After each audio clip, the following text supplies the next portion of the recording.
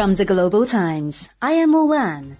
Welcome to the GT Podcast with Mulan, a one-stop shop for the Global Times take on top China and global news. In today's podcast, China's efforts to help build an open world economy that benefits all continue as it hosts the world's first supply chain expo in Beijing. As global attention continues to focus on the Palestine Israel issue, China's top diplomat reiterated calls for complete ceasefire while chairing high level UN meeting. Following the Chinese US leaders meeting in San Francisco, how the two countries can deepen bilateral people to people exchanges. Will Argentina under President elect Javier Milei tilt fully toward the US? A Global Times editorial says improving relations with the US doesn't have to antagonize others. As China pursues dual carbon goals, Beijing's taxi industry, which is shifting to full new energy utilization, serves as a window into China's efforts for a green future.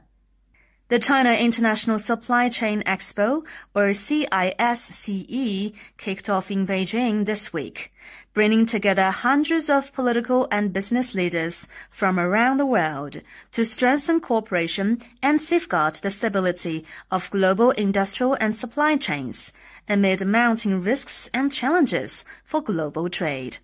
At the opening ceremony, Chinese Premier Li Qiang said that China stands ready to work with all parties to build more resilient, efficient, and dynamic global industrial and supply chains, while warning against disruptions to global cooperation that will hurt many countries underscoring the widespread desire among global businesses for stable industrial supply chains, 515 Chinese and foreign companies are attending the five-day expo, of which 26% are from overseas. Notably, many US and European companies signed up for the expo, even though they face calls to decouple or de-risk from China by Western politicians. Many global businesses at the CISCE also stress the need to safeguard international supply chains and China's vital role in the effort. FedEx Express, a subsidiary of US-based FedEx Corp, said as trade globalization continues to evolve, global industrial and supply chains have become increasingly interconnected. China plays a pivotal role in driving the steady growth of the world economy. At the UN, China's Foreign Minister Wang Yi reiterated the country's stance on the Palestine-Israel conflict, stressing that China stands firmly on the side of peace and called for a complete ceasefire as well as the implementation of a two-state solution as soon as possible. Wang traveled to New York to chair a UN Security Council high-level meeting on the issue, as China is the rotating president of the UN Security Council for November. The move comes at a key juncture as Palestine and Israel observe a temporary truce. It highlights the most pressing issues and lay the foundation for the future solution of the Palestine issue. In a meeting with UN Secretary General Antonio Guterres, Wang said that China supports the UN and the Secretary General in playing their unique and irreplaceable role in resolving the Palestine-Israel conflict. Wang also outlined China's positions. First, there should be no reignition of the war, and a complete ceasefire should be achieved to avoid greater humanitarian disasters, and the hostages should be released. Second, unhindered access of humanitarian supplies to Gaza needs to be ensured. And third, the two-state solution should be restarted at an early date.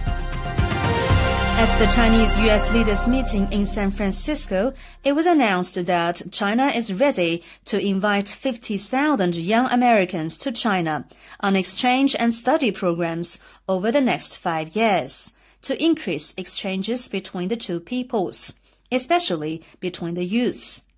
This could go a long way in helping stabilizing bilateral ties, according to Yang Wanming, head of the Chinese People's Association for Friendship with Foreign Countries, or CPAFFC. In an interview with the Global Times, Yang said, amity between the people holds a key to sound state-to-state relations. As an organization engaged in people-to-people diplomacy in China, the CPAFFC aims to enhance people's friendship, further international cooperation, safeguard world peace, and promote common development. To deepen the exchanges between the peoples of China and the U.S., the CPAFFC has engaged various initiatives. It invited the Flying Tigers to return to China after 80 years for a 10-day visit in early November. It also co-hosted the fifth China-US Sister Cities Conference, themed Build Green Cities for the People in November. It wants to invite more Americans, especially the young, to visit China. You can't really grasp everything about China just by looking at social media. You have to be here to experience all the amazing different cultures that China has to offer, Yang said.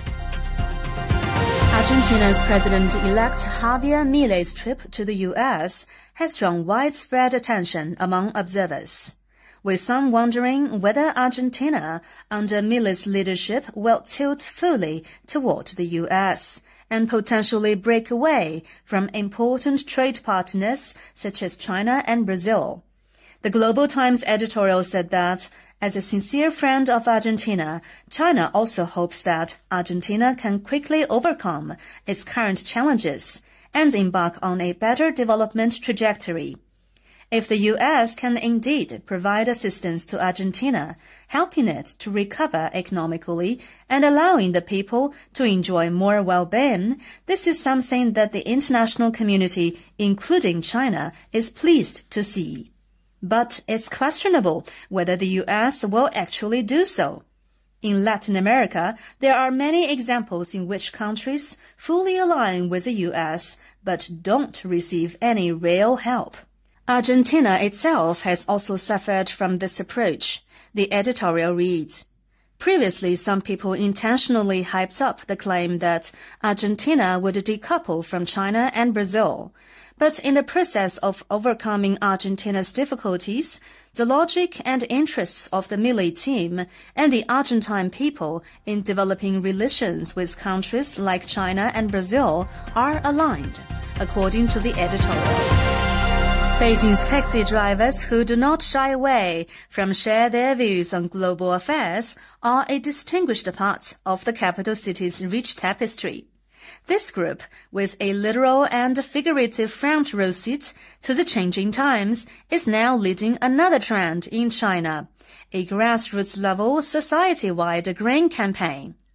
China explicitly proposed national dual carbon goals, intending to hit a carbon peak by 2030 and achieve carbon neutrality by 2060. As a specific measure following this, in May 2022, the Beijing Municipal People's Government issued a plan stating that all cruising taxis in the city will be fully converted to new energy sources by 2025. As the 28th Conference of the Parties, or COP28, to the UN Framework Convention on Climate Change kicks off in Dubai, many are watching China's efforts in pursuing its dual carbon goals. The over 60,000 taxis in Beijing will serve as a small yet significant window into China's broader dual carbon wave, reflecting the country's commitment to high quality development. NEVs have become a crucial part of China's emission reduction efforts. As of the end of June 2023, China's national stock of NEVs reached 16.2 million units, accounting for 4.9% of the total number of vehicles. And that number is expected to grow exponentially in the coming years. That's all for this edition of the GT podcast with Mulan. Make sure to follow the Global Times on Twitter and Facebook to stay tuned. You can also check out our podcast articles, and much more on our website at globaltimes.cn. Thank you.